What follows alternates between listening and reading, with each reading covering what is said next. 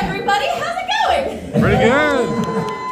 I'm Ari. As you can see, I am the resident goofball of the band. and since this is our first year here in Arizona, it's only natural that we introduce ourselves for a moment, right? Yeah. Hi, Arizona Ren Fest! Ah. The magical human being that was helping me sing definitely not a Disney-ish version of our songs is Declan! Hello, everyone. Woo! Holding the double whistle all the way over there with like the complete opposite height of me. it's Morgan the Celt! Yeah. And starting his very first official full Ren Fair tour, we have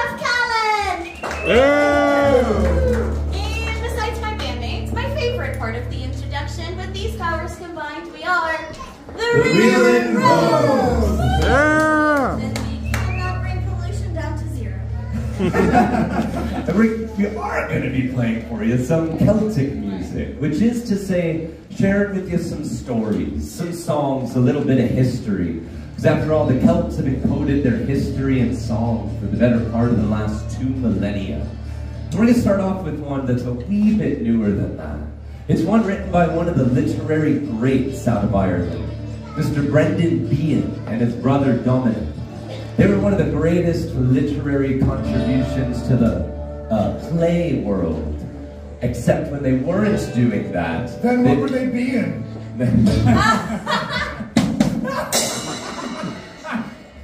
they were writing rebel tunes.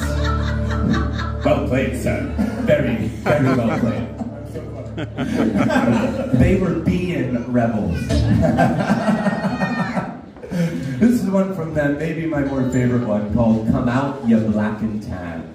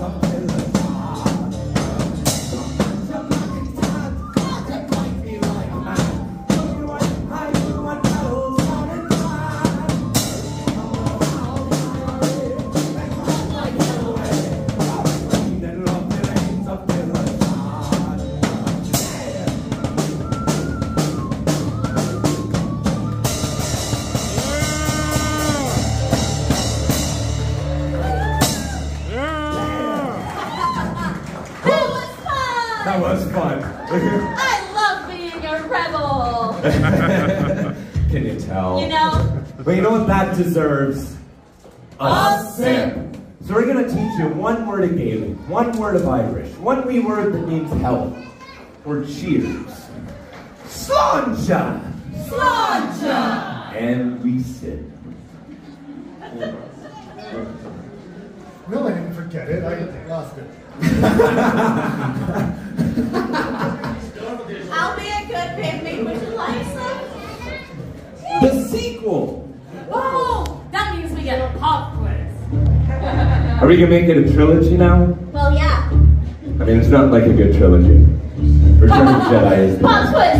What we, like me, word in Gaelic means help or cheers. Sláinte! You know, it was a delayed reaction, but y'all did great. Now we sit. Here's a really fun way to remember it, as one of our dear friends showed us. It's a lawn chair. You just say it really fast. It's lawn show. Launch. See? Ah. Get away with a lot of those. Yeah, or a nice, the nice herbaceous cilantro. It's a lawn show. It's a lawn show. Wasn't that three? I can't count. It's a good thing you're I not want to the other one anyway. So basically, the word he's been teaching Ooh, you we in get to do the Morgan one. We get to do the Morgan one. Yes. Wait, I need my mug then. You don't have a mug to do this. no good ones. Yo, we're on top of it today. And the word he's been teaching in Irish. If you were to say it in Welsh, would be Yeheda. Yes. Some of you are brave though, you really got it. That yes and uh, It's easy, it rolls right off the throat. Really does. You can remember us when you go to hiss at someone. yes. Well, well, now that we know each other a lot better, that's good. Because we're going to ask you to sing along with us just a little. We're really kind of scream along. It's really just two words. Will you scream with us a bit? Say I! Off to a good start. They promise. This one, this one is a story, but it's really more of like a public service announcement of what to do in the rare but very fortunate circumstance that the pub were to catch on fire. Right, that question. Why would that be fortunate? Well, since you asked so inconspicuously on the pub, I'll let you know. If the pub were to catch on fire, the booze is stored in the cellar. Oh, that's important information to know. And the best thing you can do, because booze is flammable. You see. Ooh, ooh, I learned it in high school, but not in class. Oh. So for the good of the town, of course, the best thing you can do is go down to the cellar and drink up all the booze before the fire Hey, gets there. Let's go. No, no, no, you, we already did. No, no, no, we need you. How about we bring them? Oh, that'd be so that's a better fun. idea. We can get to know each other better. Who wants to save the town by drinking for free? Yeah! Remember to tip your bartenders whether you drink paid or for free. Uh, well, well, I don't think management would like it if we burned down a pub. This is our first year here. Y'all have been great. Thank you for having us. Yeah. So we want to stay on good terms. So instead, we're going to ask you to scream just two words. The first word is booze. Booze! There you go. Times two, because we never have just the one. Booze, booze, booze, booze. And for the children out there, you can scream juice, juice. I mean, it's kind of the same thing, right? I mean, the only real difference between booze and juice is time. I do love my apple juice.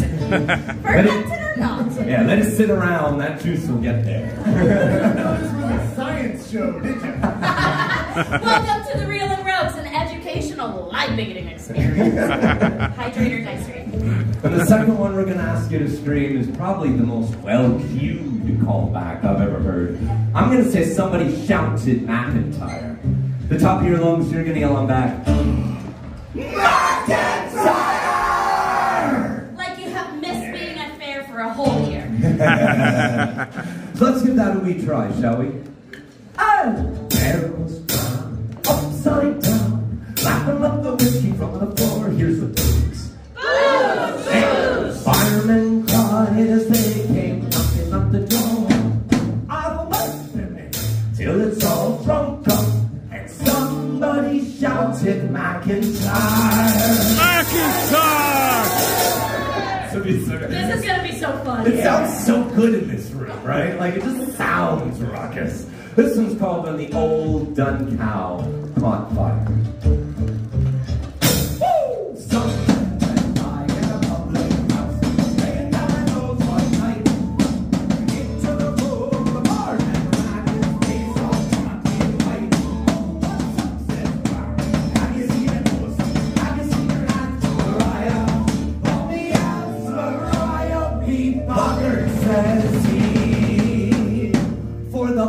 He comes on. Ah!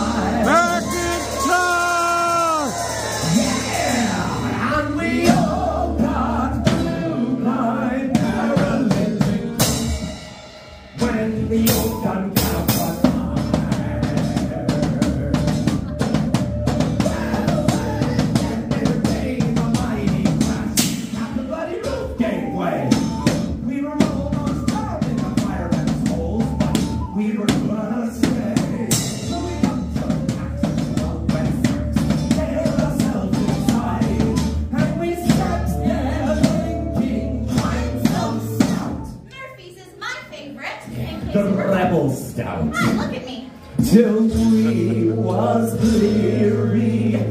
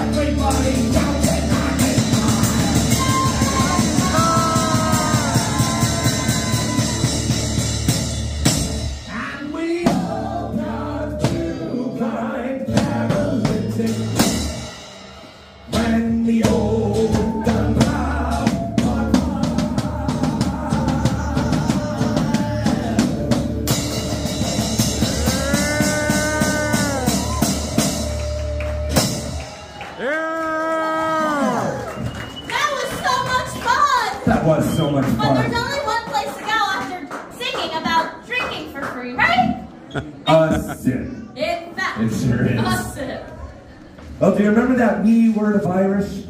That one word that means health or cheers? Sláinte. Sláinte! And we sip. But hey, I'd like to do another one because Arizona, just like many of the places that we visit, is a melting pot of different cultures. Even our band is a melting pot of different Celt cultures. And on the count of three, we've already taught you Sláinte and Yechida. We'd love for you to cheers in whatever language you wish. All right, are we guys ready? One, two, three. Yes, Salud! oh yeah! And we sip. That's right. Well, we got one more song for you, and first, very importantly, we are in the desert. It includes bagpipes. We got to get those in tune. Will you join us for a quick bagpipe tuning? The answer is yes. Say aye! Aye! Excellent. Now we've got your consent. That's very important. So I gotta get this drone in tune and mine in tune. It'll take just a moment. Can you give me a blow on your A, please?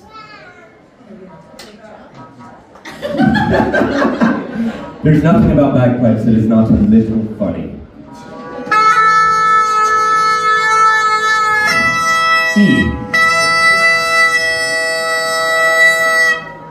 There we go. And now, bagpipes travel in pairs, obviously. Money system.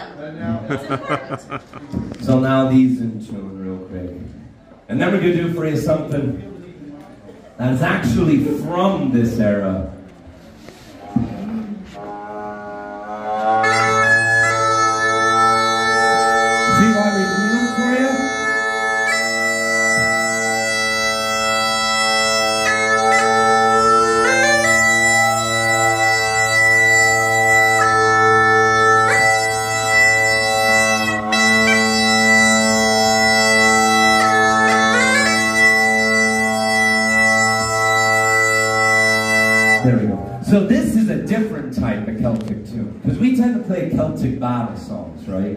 So you gotta remember that, firstly, especially Irish battle songs, tend to be battles against the English. Secondly, they aren't things that we tend to win. No. No. Very typically, they get the victory, we get the song. So you can think of most of these as like rousing battle cries from the losing side. Look around you, you're at Renfest. I was not the popular kid. No, no, not at all. but but this song is about a battle, an Irish battle against the English. Who the Irish actually won.